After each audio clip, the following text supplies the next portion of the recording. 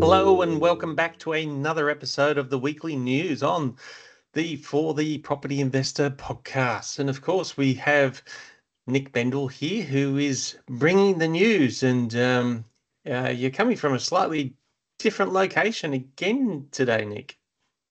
I am indeed. Normally, I broadcast from my home in Sydney, but today I'm in a very fancy hotel room in Melbourne. Wow, wow, and uh, and um, hope Melbourne has been treating you well. Melbourne has been really nice. I got here three days ago, had a very nice weekend. The weather has been pleasant, and I've seen some friends. I've done some work, had a couple of nice dinners. It's been a very nice visit. Fantastic, good to hear. And um, it's uh, what's been happening in your week for the past week? Well, I, I've had a really good week, Owen. I am the owner of Hunter and Scribe, which is a copywriting agency that writes content for finance and property professionals throughout Australia. And our biggest uh, client group is mortgage brokers. And so during the week, last week, I went along to National Finance Brokers Day in Sydney, which was a really, really good day. The room was full of my people, mortgage brokers who I love, quite a few clients in the room, and uh, also spoke to a few of the lenders. And just a, a really, really good day. I, I always enjoy mixing with my broker people. Fantastic, good to hear. As a as a former mortgage broker myself, it's um, um, uh, glad to hear that um, they're your favourite people. Yeah, and uh, there was a really interesting panel discussion between Mark Bouris and James Symond, who were talking about their former fierce rivalry when Symond was at Aussie and Bouris was at Wizard, and Yeah. how they uh, they were not too fond of each other back then, uh, but now they're mates. Oh, well, well, that's nice to hear that after all that time, they're they're um, they consider themselves mates now. But um, um, yes, I mean, I mean that would would have, would have been over twenty years ago now that they uh, had Aussie and um, Wizard going. So uh, that would have been an interesting conversation. It was. And any news from you and Leifield over the past week? Oh, just uh, dealing with lots of good problems of um, of um, having lots of new business coming in and um, having to uh, manage the growth and hiring new staff and all of these fun things of running a a, a fast growing business. So, um, um, but stay tuned. Lots of good things happening, and um, we will give you updates as they happen. Well, congratulations. Glad to hear the business continues to grow. And you're in five states now, aren't you? Yep, five states and um, uh, the original three, uh, well, the original two uh, are still growing well with uh, New South Wales and Queensland, especially Queensland. Um, but WA is a strong performer. Um, but our our maybe while you're in Melbourne, can you drum up some more business there? Because Melbourne's not hasn't been the greatest a performer of over the years. But um, but word on the street if I can give you a little little tip, word on the street is um, it might not be a hot spot just yet, but um, but uh, apparently Melbourne is warming up quite a bit. Mm. Well, I wouldn't be surprised because it has underperformed for a few years. And therefore, I wouldn't be surprised if investor money starts moving from some of the markets that have been booming to others that might have more growth potential. Yes, but apparently you have to be pretty picky. So um, if um, so, good idea to talk to a a knowledgeable, in the know buyer's agent. That sounds like a very good plan. And I think you are really going to enjoy the three news stories we have Oh, really? to present today, Owen. I think you're going to enjoy That's them. right. And You're bringing the news. We're not just having a chat, are we? no, we're not. And I wouldn't be surprised if during these news stories you let loose on a rant or two. Oh, no, I don't like to do those sorts of things, do I, Nick? You have got a bit of a reputation for that. Oh, okay. Maybe you're just baiting me now on purpose. Well, you know, you know me too well. Let's move into the first story where Yes, I'm, not, I'm probably not going to bait you. All right. Property property market delivers best profit result in over a decade. The overwhelming majority of vendors who sold their home during the 2023-24 financial year achieved a higher price than their original purchase price. Domain research found that 96% of house vendors throughout Australia enjoyed a gross profit, the highest since 2008, and 90.7% of unit vendors made a profit, the highest since 2011. A higher share of regional vendors achieved profits than capital city vendors for both houses, 96.1% versus 96%, and units, 94.6% versus 89.4%. Owen, what are your thoughts when you hear about this data showing that the overwhelming majority of people who buy a property eventually sell it for a gross profit? Oh, well, it's not really surprising at this point in time. Uh, if you look at the last 10 years in, in most of the major markets around the country, uh, there's been tremendous growth. Uh, and then you look at the, the low stock levels uh, that um, ha- have been selling. It's it's only the people who have um, are in a position where um, they can sell and make a profit, uh, with, with a few exceptions, of course um, who are on the market and, and looking to sell, and they said they'd be selling for a reason. So um, yeah, not, not really too surprising. So Domain found that during the 2023-24 uh, financial year, house vendors were more likely to make a profit than unit vendors. Does that surprise you? No, again, it, it's uh, generally houses do grow uh, faster, and and during uh, the first couple of years of COVID, um, units definitely took a big hit, and um, we, with a, a lack of growth compared to their house cousins, and it's uh, so yes, that that's not really surprising. And Domain also found that regional vendors were more likely to enjoy a profit than capital city vendors. Did that surprise you? Um, no, no, uh, no, no real surprises here, Nick. It's um, um, yeah. i i again, during the COVID years, uh, regional areas did uh, get quite a a a boom from um, people doing the tree change and sea change, and um, so so no real surprise. Even though in the the last year or two, the the regions have um, maybe uh, leveled off, um, depending on on on on which areas, of course. Um, some regional areas have have boomed quite dramatically. Um, so in the last year or two. So yeah, that again, no real surprise. So I, I guess the data seems to show if you buy a quality property in a quality location, hold it for the long term, history suggests you're going to make a handsome profit. Yes, and it's it's not about timing the market; it's about time Mm, in the market. I like that. that that old saying. Yeah. But it is true. It's one I Yeah. I I live by, and I think it, it applies to the stock market as well. If you're buying a Mm. broad-based index fund, time in the market rather than timing the market. Yep. Exactly.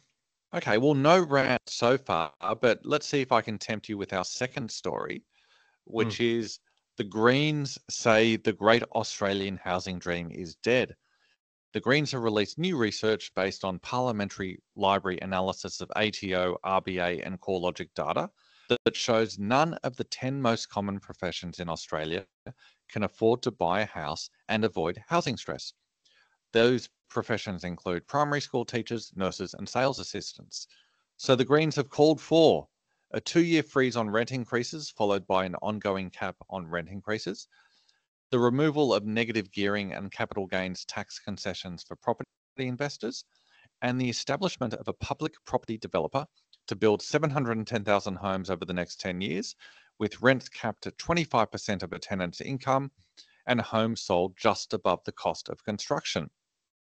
The Greens housing spokesperson, Max Chandler Mather, says For far too many, the Australian dream of owning a home is dead and it's been killed by Labor and the Liberals with tax handouts to property investors.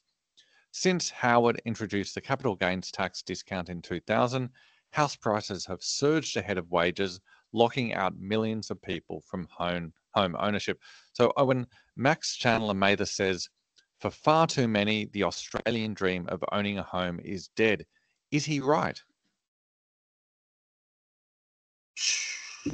Um, if you think it, that is the case, then yes. Um, do you think it's the case? No, well, well, for, for those individuals who are struggling, if they think it, it is dead, then yes, that is the case. Um, but for, for everyone else who um, wants to make it happen, it can happen. So it's uh, it, it's it's a different time to 30 years ago. Um, yeah, you, you have to adapt and change. So um, the world does not stay the same. Economies don't stay the same. Societies don't stay, stay the same. So it, you, you can't expect things to stay the same. And uh, so you, you, need to adapt and change. So uh, it's uh, so to, to answer the question directly, no, it's not dead if you uh, are persistent and you really want to make it happen. What, what about, uh, so, so the Greens were making the point that if you're in one of those 10 most common professions, and they mentioned primary school teachers, nurses, and sales assistants, you can't afford to buy a house and avoid housing stress. In other words, the repayments would occupy an excessive amount of your monthly income. For, for those people, Owen, do you think the Australian dream of owning a home is dead? No, they have options. It's yes, it, if they want to put themselves in a box of of this is our only option that we want, then uh, then that's just um, unrealistic these days. So they have options. They can rent rent vest. Uh, if they need to live in Sydney, it's cheaper to rent where they need to live than it will to buy that house. Mm. So they can still get in the housing market though by renting where they need to live and buying a property for investment. Thousands of people do it. Now, speaking of property investment, what do you think of the Greens' proposal to remove negative gearing and capital gains tax concessions for investors?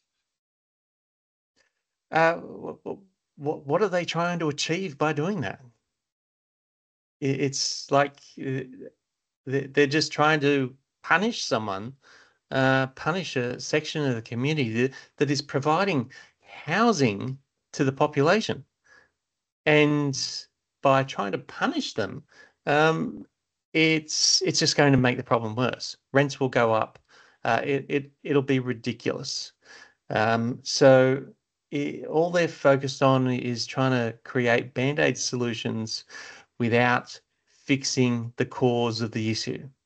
Hmm, well, funny you should mention that rents are going to go up because that leads us to another one of their proposals, which I'm sure you'll agree with, which is the Greens' proposal to freeze rents for two years and to then impose ongoing rent controls. Are you a big fan of those ideas?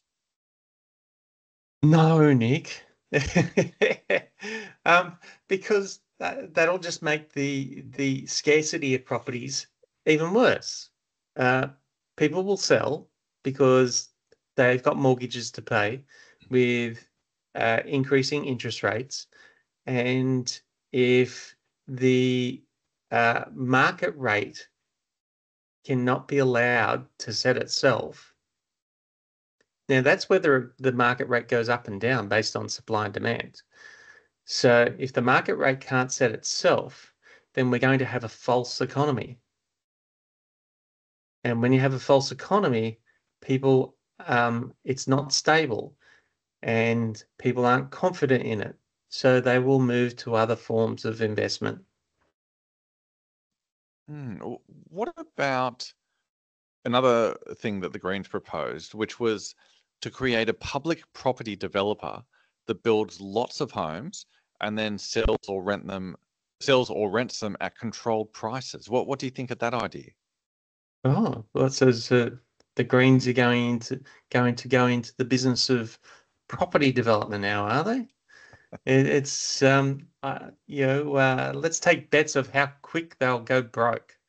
Um, yeah, it's so what what was it? They're going to set um, um, uh, set the costs at just above construction costs. Yeah, it, Yes. it's uh, well, well, ask a lot of developers. There's a lot of developers out there um, that have tried that and they've gone broke, and it's um, so uh, the Greens just don't know what they're talking about. Okay. Uh, do you think I succeeded in triggering you with with that uh, news story? Oh, it's just uh, there's there's just wha- wha- yeah. wh- Why why are we giving giving them uh wh- why why are we giving them validation by talking about them? Yeah, it, it's it's just ridiculous. Okay, well, let's do our final story. Not for profit group calls for Airbnb reform.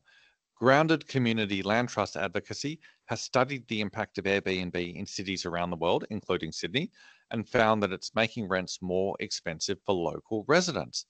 According to Grounded Community Land Trust Advocacy, Airbnb investor returns in Sydney exceed traditional property investor returns by 92.3%.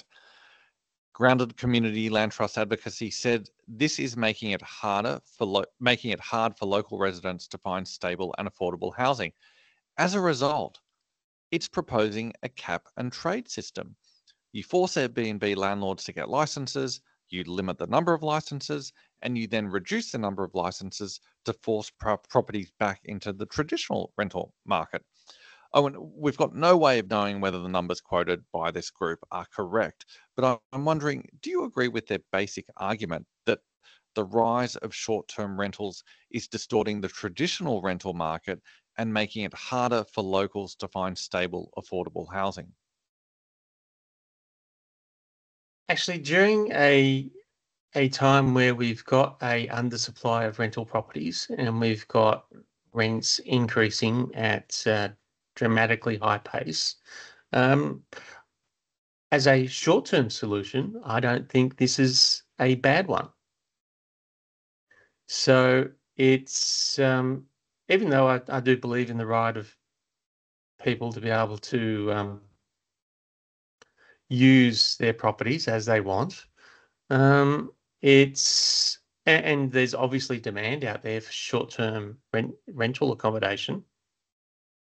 But when we've got people who can afford to rent living home, yeah, being homeless because they can't afford to, then um, I, I I actually don't think this is a, a, a necessarily a bad idea, whether it's for a short term and um, basis or, or not, then yeah, it's um, not a bad idea. Hmm. Well, so they've proposed a cap and, and trade system. And without going into the specifics of, of what they're proposing, what do you think of the idea of forcing short term landlords to get licenses and then limiting the number of those licenses? Yes, well, that that will um, um, put the the costs up for doing short term rental, um, which will make it more difficult for people to um, um, to continue to to to do that, um, to lease lease out their properties on the short term rental market, uh, and it, and it might also make the affordability between Airbnbs and um, hotel accommodation more equal. So people might start to decide, well, I'll I'll just stay in a hotel room instead. Um, but we, we don't want to ban it altogether. We still want people to have choice. And but the the the limiting um, by way of licensing, I don't think is necessarily a, a, a bad idea, especially in the short term, because then you can you can increase the number of licenses in the future quite easily um, as as markets open up. Hmm. Okay. Well, interesting thoughts. Uh, three interesting stories, and appreciate as always your insights. Thanks, Nick. And um, y- yes, um, I, I might have surprised you there with, with one or two of those answers, but um, uh, yes, the, the, the Greens are, the Greens always have good intentions. Um, don't get me wrong. I understand that their intentions are good, um, but uh, yeah, they, they just don't understand um, how to go about uh, fixing these issues. And they they always look at the band aid solutions, and they're just trying to blame other people instead of taking responsibility and taking the correct action that needs to be done. So yeah, uh, that's my little summary. Well, really enjoyed the chat, Owen, and looking forward to seeing you next week. You too, Nick, as always. We'll see you next week with the news.